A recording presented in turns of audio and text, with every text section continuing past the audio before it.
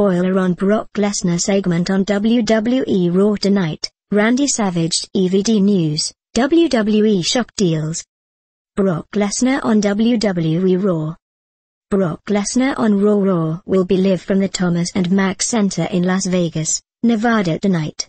PWInsider.com is reporting that there will be a segment with Brock Lesnar being presented with a new title belt, featuring the brand new WWE logo. As reported earlier today, Lesnar told TMZ last night that he plans to merge both championship title belts so he doesn't have to carry them both around. This is the merging that he referring to in the video seen here. Randy Savage DVD WWE will be releasing the Randy Savage story on DVD and Blu-ray this coming November.